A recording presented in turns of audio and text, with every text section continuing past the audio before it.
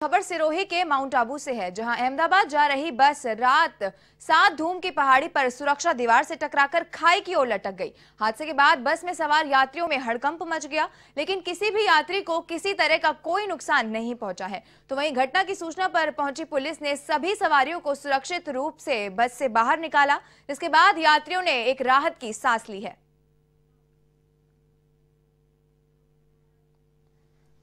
आपको बता दें कि मौके पर पहुँची पुलिस ने सभी यात्रियों को सुरक्षित बाहर निकाला। गनीमत रही कि कोई हादसा नहीं हो पाया।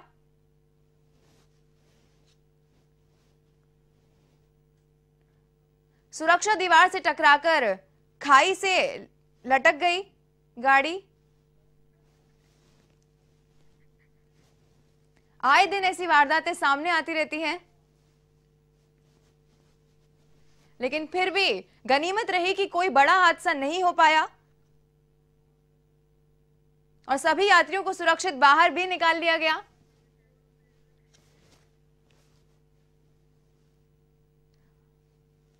पुलिस ने मौके पर पहुंचकर सभी यात्रियों को बाहर निकाल दिया सुरक्षित और गनीमत रही कि कोई बड़ा हादसा नहीं हो पाया।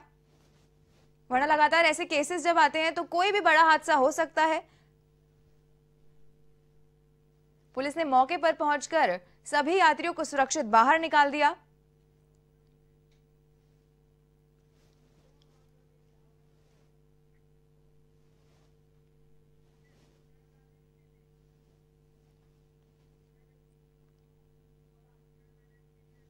देश और दुनिया की हर छोटी बड़ी खबर के लिए सब्सक्राइब करें एवन टीवी न्यूज़ साथ ही बेल आइकन को प्रेस करें ताकि आप पा सकें ताज़ा खबरों की नोटिफिकेशन